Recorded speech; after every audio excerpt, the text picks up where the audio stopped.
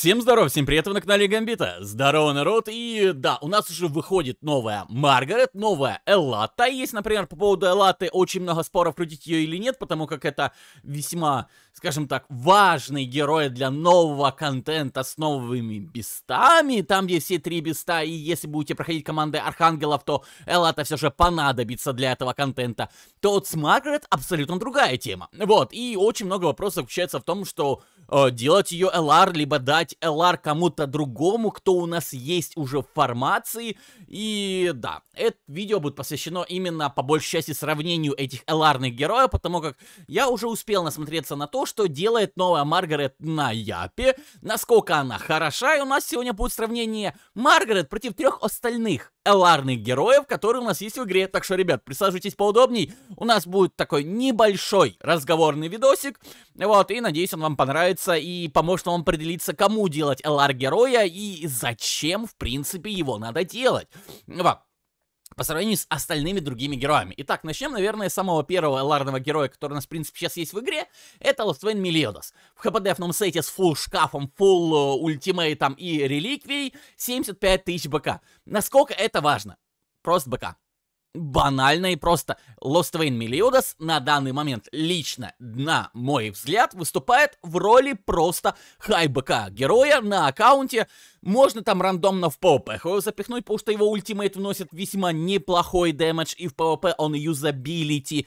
Вот, но в остальном, по факту, PvE контенте он практически мертвый. Вот, сам по себе, это просто БК. Но, есть одно очень важное но, в том плане, что Мела мало кто делал. Вот, потому что здесь нужен full шкаф, замакшенный. Герой старый, герой чертовски старый. Нужен relic. Это, извините меня, как бы не самый простой beast сам по себе для того, чтобы делать рандомный relic на одного Lostvayne Meliodas. То есть это тоже сложно. Ultimate старого, очень старого фестивального героя далеко не у всех максимальный шестой, поэтому а без шестого ультимейта, ну, Мелиодас немного теряет свой Валуев. Да, у него и все еще есть золотой инфект, который может очень быстро собраться и очень неплохо э, на дамаж, скажем так, по тем же самым неизвестным. Вот, потому что это будет противная тема, но Мел по большей части выступает либо Золотой Инфект, либо рандомный очень быстрый суперприем, либо он вообще бесполезен в PvP, особенно против нынешних неизвестных Скелей и Альбеда. Вот, поэтому объективно делать его, ну, я его использую на ГВ, в PvP я его практически не юзаю, и единственное, что я его юзаю, это смертельный поединок на адской сложности. Ну, вносит неплохой дэмэдж. Он просто там носит неплохой дэмэдж, и все от него. Ему, у него есть замены. Поэтому на данный момент Эларный Лост смотрится как самый слабый герой среди всех, которых у нас сейчас будут представлены в нашем списке, скажем так, черлисте эларных героев. И да, я думаю, мы можем выдать, выдать Лоствейну законное, почетное четвертое место с Хайбека.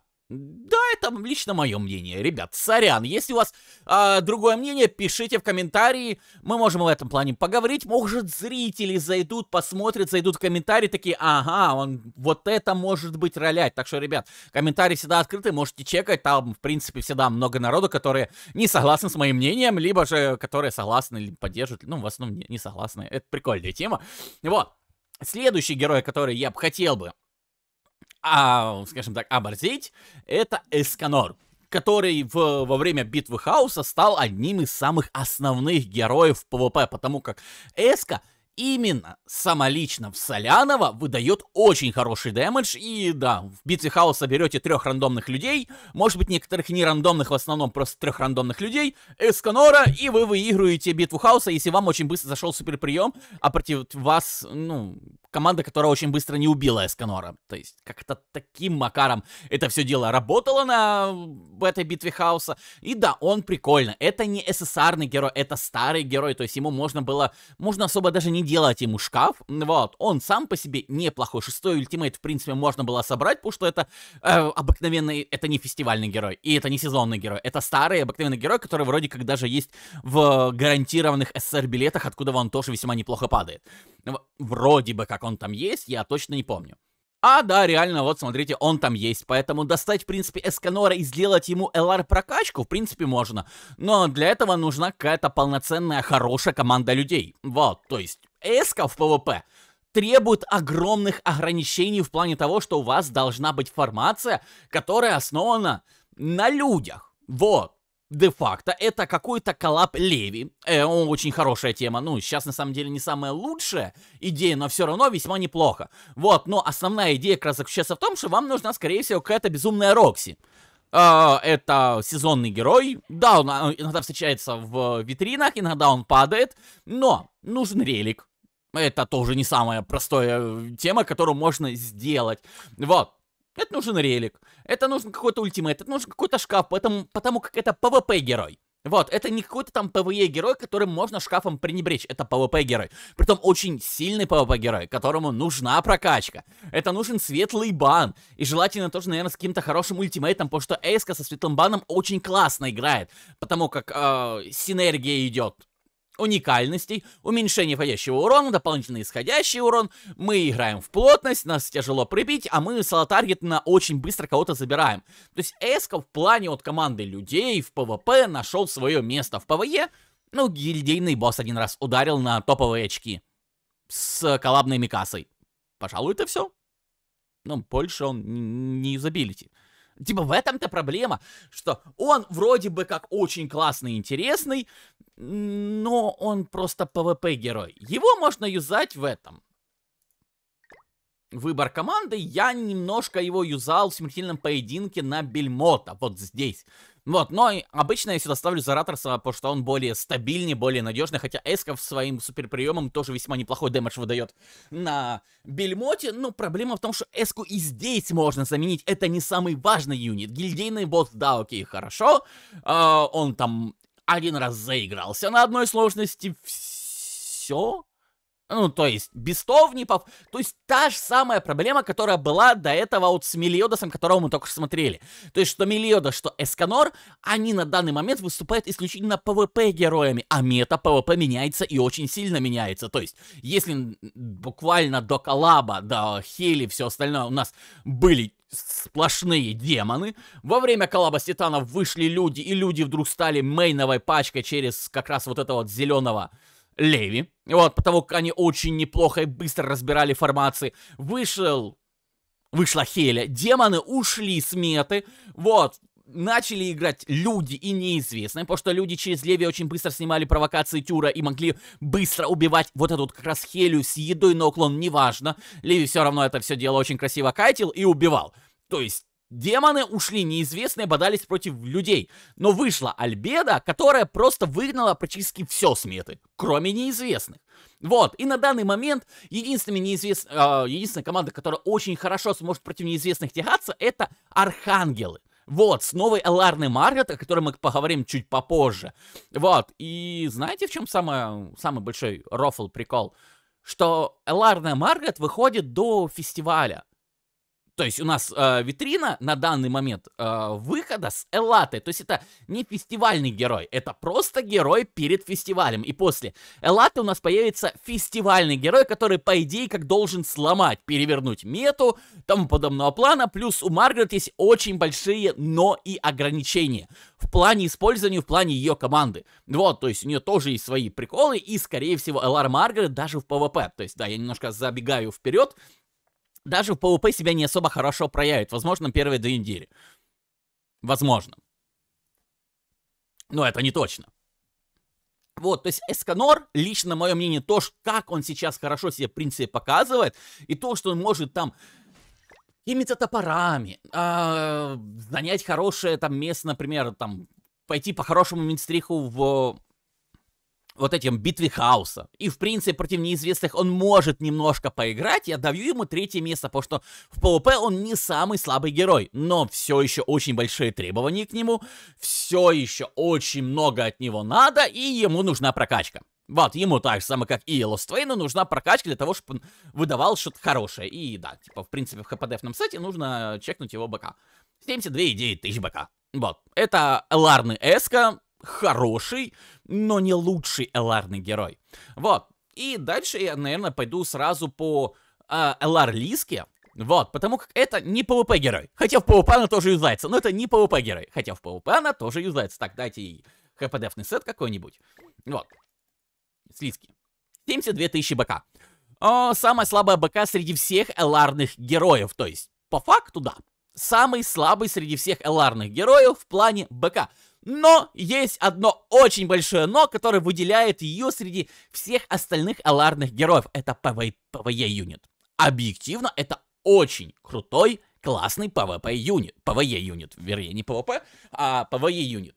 Потому как ей не нужен ultimate высокий, она в принципе дает весь value через свою уникальность и реликвию, которая увеличивает за характеристик на 15%. И это очень жирный буст под ее-то уникальность, которая увеличит базовые статы. То есть это финальный босс. Может быть, пока еще не появился финальный босс именно под э, Лиску, но я думаю, в дальнейшем появится. Вот.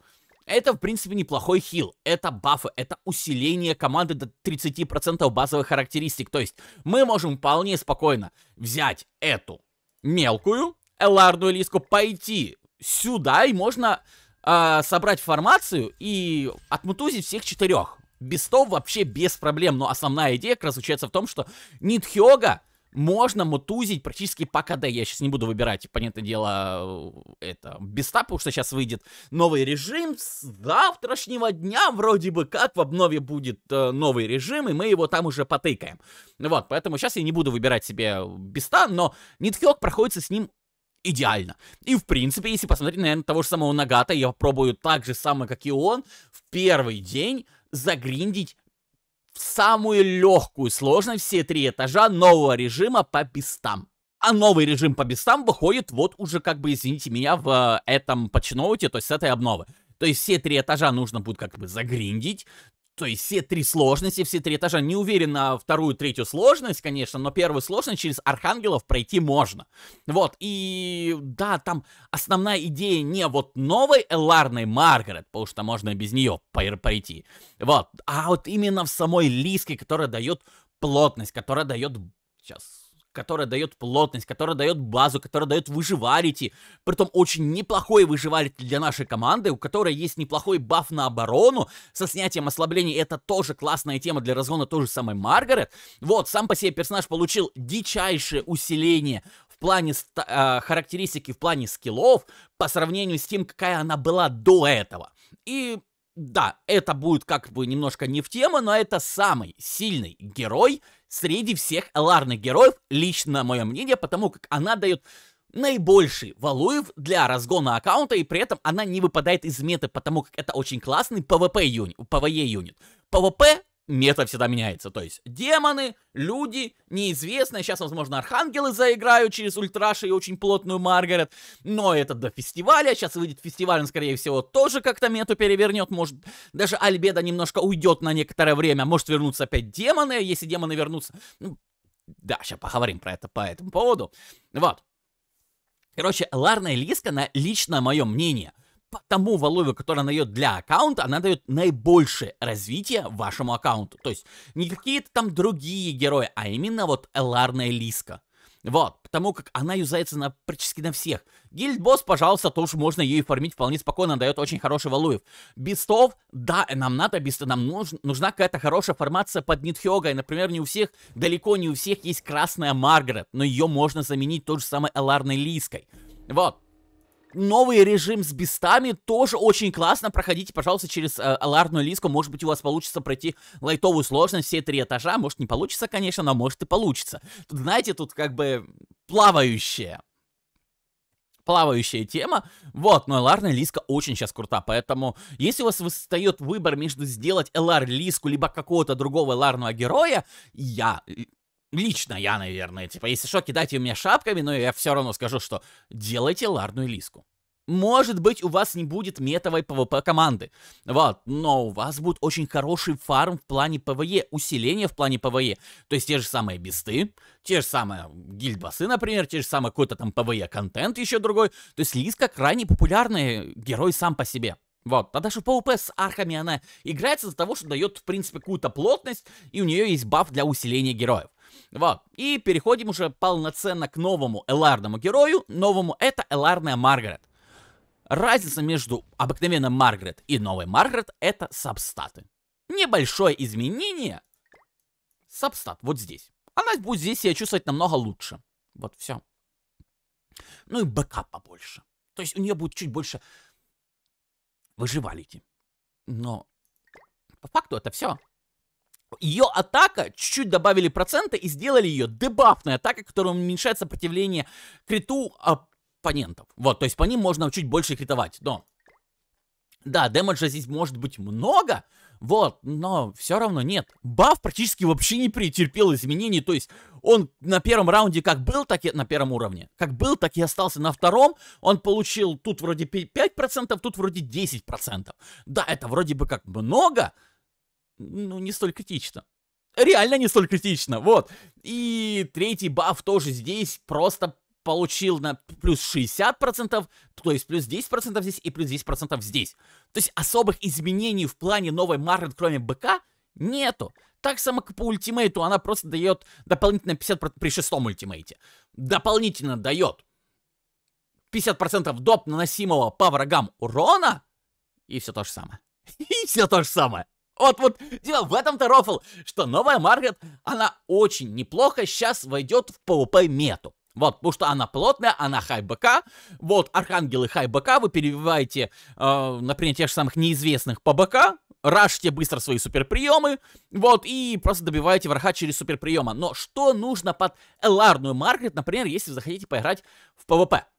Маэль. Без Маэля она играться не будет. То есть Маэль это один из основных героев для вашей новой LR Маргарет в PvP. Просто банально в PvP.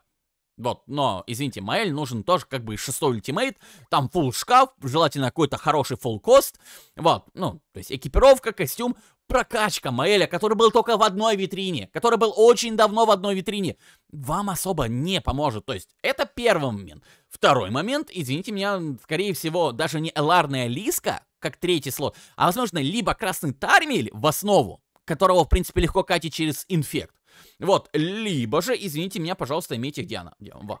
Хорошую богиню Элизабет. Имейте хорошую богиню Элизабет у себя на аккаунте. Вот, с хорошим суперприемом, потому что 1.6 суперприем никого пугать не будет в PvP. Вот, вполне возможно, не будет чекать ваш суперприем, и поэтому не будет особо в него биться, но 1.6 суперприем особо value не дает. Есть щиты, неплохие, есть неплохое оглушение от Лиски. Вот, это хорошая тема. Но в PvP сейчас на данный момент будет ролять плотность и, извините меня, очень хороший ultimate от Маэля и от Лиски. Для того, чтобы быстро собирать эти суперприемы и вайпать команд, команду оппонентов через, например, тех же самых неизвестных. Но это может сыграть идея того, что вот это три персонажа основы, LR Маргарет, Маэль и Лиска, четвертый слот либо новая Эллата, которую вам придется покрутить, покачать ей внешку, покачать ей хороший суперприем, поставить ее четвертым слотом. Можно без внешки, без суперприема и ставить ее так же самое четвертым слотом с 1.6 без внешки. Но извините, мне тогда у вас будет БК меньше, и вас могут перебивать другие неизвестные, которые от первого хода могут немножко так навалять вашим архангелам. Совсем малость могут навалять. Вот, либо же, извините меня, качайте три стана как четвертый слот, потому как, ну, все же качали, качали и крутили Тристана, потому что это очень важный герой. Вот, и все покупали ему фол шкаф, чтобы у него был. Качали его для того, чтобы у вас тоже был первый ход, иначе БК у Тристана тоже не особо много. Как четвертая слота. И вот эти все вложения в Архангелов могут не укупиться, потому как дальше у нас выходит фестиваль. И, например, если там будет какой-то фестиваль Короля Хаоса, Артура, заиграют люди какой-то Мелиодас, новый король демонов Мелиодас, с королем демоном Зелдрисом, демоны вернутся на арену. А извините меня, если архангелы с новым Эларной Маргарет заиграют, они выгонят Хелю, которая выгнала демонов с арены, и демоны вернутся. А против демонов у архов тоже не самые большие шансы. Вот. Ну, они него есть, конечно, понятное дело, но не самые большие. То есть, демоны очень себя кайфово чувствуют против архангелов даже с Эларной Маргарет как таковой. То есть Маргарет, если брать именно PvP-контент, не, неплохо вначале задаст темпа против неизвестных до фестиваля. Эларный герой на две недели.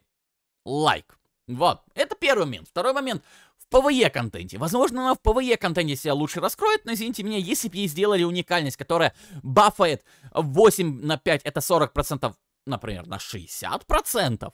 Окей, хорошо, я бы забрал бы свои слова назад, Маргарет была бы очень сильным героем. Но у нее нет больше 40%, у нее все еще остается 40%. И дополнительно, что она получает с LR прокачки, это 20% шанса крита и крит урона для наших союзников. Там по какому-то определенному проценту за каждый снятый дебаф с нас. Все. То есть мы получаем LR-ную Маргарет на 20% шанса крита и крит урона немножко сабстат. Все, чуть переме- переделали первый скилл, второй скилл чутка улучшили, ультимейт чутка улучшили, не более того.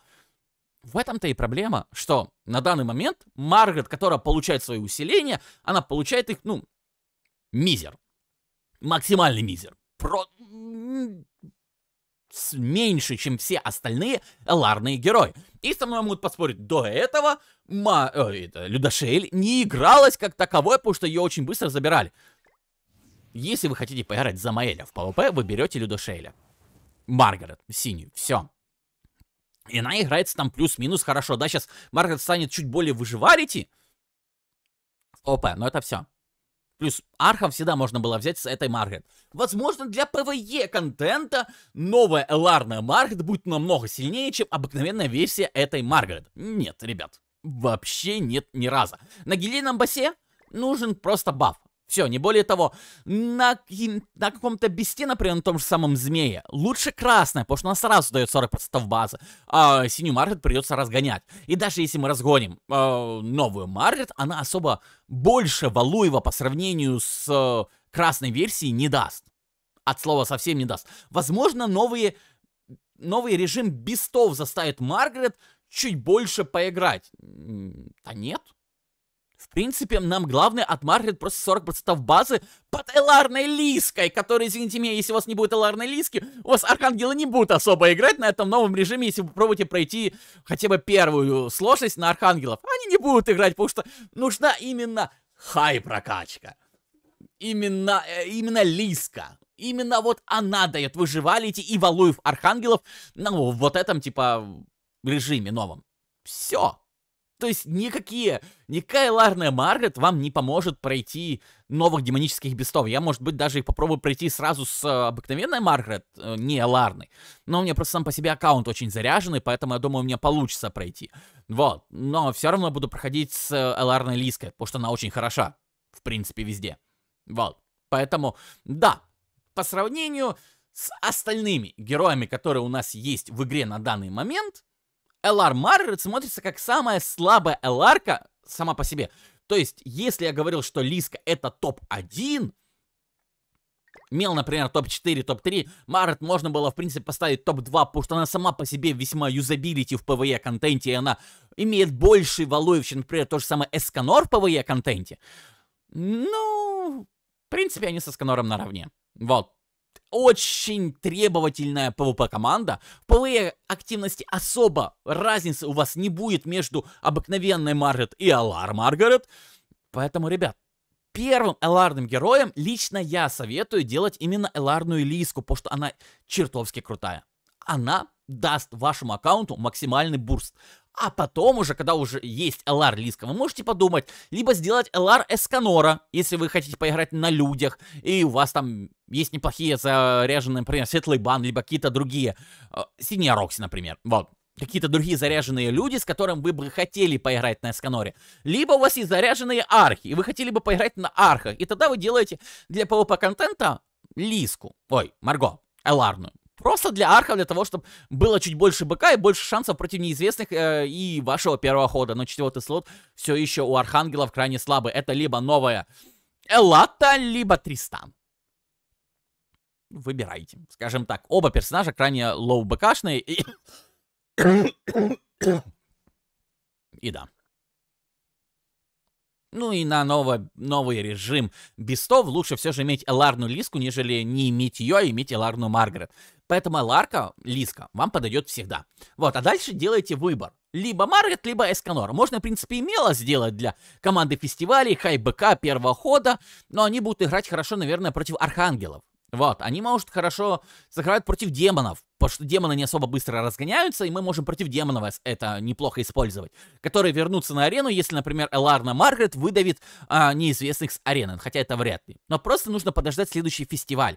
И если Маргарет, Эсканор и Лост Вейн, их Валуев в игре, в принципе, то, что вы их сделаете, варьируется от того, какая мета сейчас в PvP, играют ли сейчас демоны неизвестные, либо там люди, лучше всего, и новый фестиваль усилит какую-то из вышеназванных э, фракций, скажем так, в игре. Вот, то LR Лиска будет играться всегда.